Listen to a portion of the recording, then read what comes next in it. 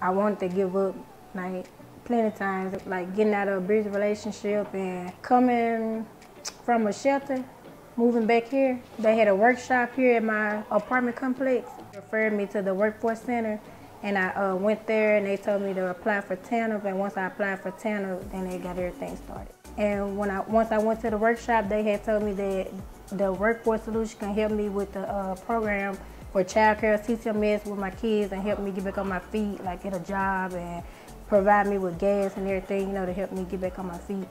I was like, man, it can't be true.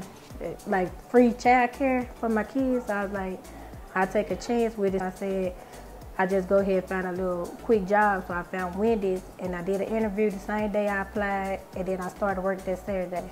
I was excited because not working for months and then at first they was paying my rent or the housing through the rent relief and then after that cut off I was like I gotta get everything going because I gotta start paying my rent. I was like I gotta you know, do what I gotta do. My next step, I wanna try to go to TCC and graduate so I can try to start my own business.